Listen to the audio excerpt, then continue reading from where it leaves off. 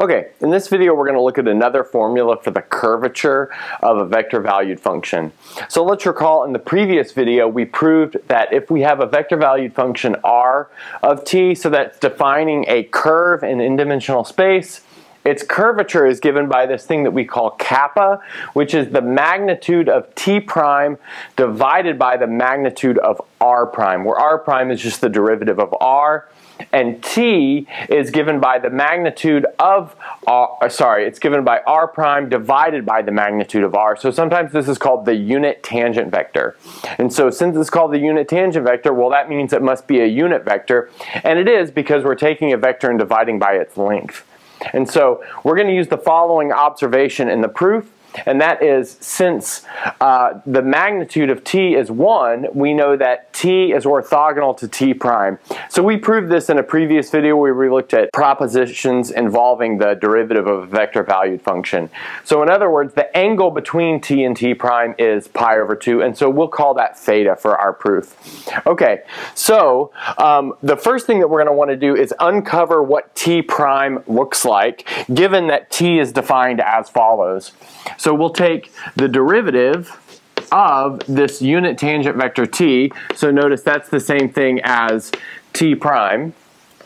So uh, that's going to be the derivative with respect to t of the scalar function 1 over the magnitude of r prime times the vector function r prime. Good. So notice that that gives us r double prime over the magnitude of r prime. Here we're using the product rule. And then it's going to give us plus 1 over the magnitude of r prime squared times um, r prime. Sorry, not squared, but the derivative of 1 over the magnitude of r prime. So it might, it might seem like a cheat that we're not going to actually calculate this, for our argument, it'll all come very cleanly just with the parts that we have right here. And now the next thing I want to do is look at the magnitude of t prime. And notice that the magnitude of t prime is the same thing as the magnitude of t prime times the magnitude of t. Given that the magnitude of t is 1, I've just multiplied that by 1. And now the next thing that I can do is rewrite this as the magnitude of t cross t prime times sine of theta, where theta is the angle between t and t prime. And so we know that because this sine theta is 1 in this case, given that the sine of pi over 2 is 1, and we've already made this observation from a previous um, video where uh, these things are orthogonal to each other. Okay, great.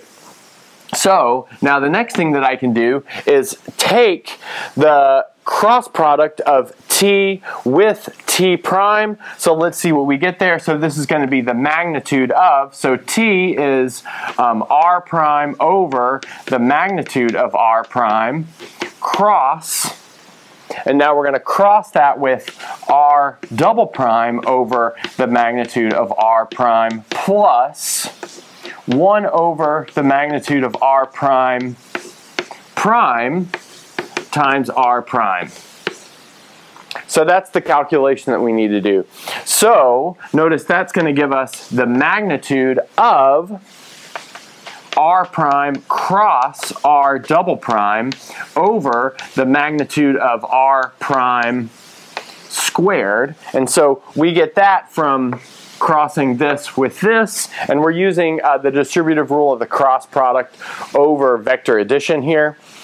And then we have that is plus 1 over the magnitude of r prime times 1 over the magnitude of r prime prime times the vector part, which is r prime cross r prime. Great, so we've got something like that. Um, and that is from distributing here and here. Okay, good. Now the next thing that we'll notice is that whenever we cross product a vector with itself, we get zero, and so that's a fact that we went over when we were defining the cross product. So that means this part cancels out to zero, which is really nice because that leaves us with only this term, which we can rewrite as the magnitude of r prime cross r double prime over the magnitude of r prime squared. And that's essentially the end of the proof because now if we divide this magnitude of t prime squared by the magnitude of r prime, um, we're going to get exactly this formula up here. Great. So that finishes the proof. So I'll clean up the board and then we'll look at some examples. Okay, so now we're going to use this theorem to find the curvature of the following curve. So we have 1 third t cubed, 1 half t squared, and t. So we're going to first calculate r prime. So that's pretty easy. That's just going to be t squared, t, and 1. Now the next thing we'll do is calculate r double prime. So that's going to give, be given by 2t, 1, 0. Okay, so we've got it. So now we need to know the magnitude of r prime. So that happens in the denominator here. So that's going to be given by the cross product, sorry, that's going to be given by the dot product of r prime with itself, and then we take the square root. Great. So that's not too bad. That's going to give us the square root of t to the fourth plus t squared plus 1. So that's what we get for that magnitude. And then we need to find the cross product of r prime with r double prime. So we'll use the matrix version of the cross product. So we have i, j, k, and then here we have t squared, t1, 2t, 1, and 0. Good. So we're going to expand this about the first row. So here we have in this quantity, which is going to give us the first entry of the cross product. We'll have t times 0 minus 1 times 1, so that gives us minus 1. Good. So next we'll do the second column and the first row. So that's going to give us t squared times 0 minus 1 times 2t, but then there's a minus sign built into the formula here, so that gives us 2t. And then finally, we'll do the last column and the first row. And so that's going to give us t squared uh, minus 2t squared. So that's going to give us minus t squared. Fantastic. So now we find the magnitude of that vector. So r prime cross r double prime. So that's going to be the square root of 1 plus 2t times itself plus negative t squared times itself. So that's going to be t to the fourth plus 4t plus 1. So there we get that for the magnitude. Now we can put this all together. So we're going to want to divide this by all of this cubed.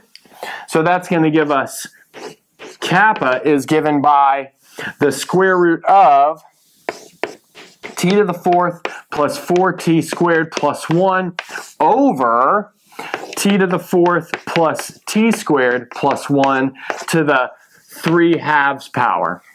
Okay, and that is the final answer for this curvature. Okay, so before the end of the video, I want to do one more thing, and that is apply this formula to find the curvature of a curve in the plane.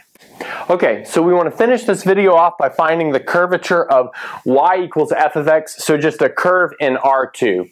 So the first thing we want to do is build a parameterization of this curve that uh, is a vector equation. And so we can do that by letting r of t equal, so we'll have t for the x coordinate, we'll have f of t for the y coordinate, and then we'll have 0 for the z coordinate. So this curve is living in three-dimensional space, but it's down on the xy axis.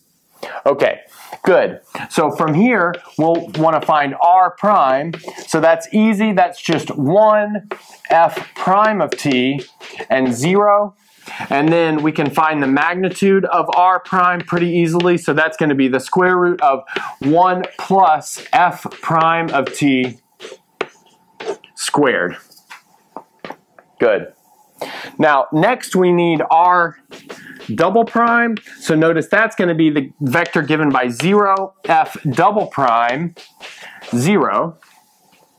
And from there, we need to calculate the cross product of R with R double prime. So we'll use the matrix method again for that. So here we'll have I, J, K. So R prime is given by 1, F prime 0. R double prime is given by 0, F double prime 0. So now working in the first row and the first column, notice that's going to give us just 0. So the first entry of this thing is just 0. Now let's go ahead and work in the second column in the first row. And notice that's also going to give us 0. And that's because we've got two zeros over here. Good. And then finally, in the last column and the first row, what we're going to get is 1 times f double prime minus 0 times f prime. So in other words, we're going to get f double prime. So next, the magnitude of this is pretty easy to see. That's just going to be um, the magnitude of f double prime. Uh, which will be the absolute value of f double prime. So we can apply our formula right here, and that's going to give us this curvature is given by the magnitude of f double prime divided by 1 plus f prime of t squared, and then this whole thing to the 3 halves. Okay, great. So that's the formula for the curvature of a plane curve, and that's a good place to end this video.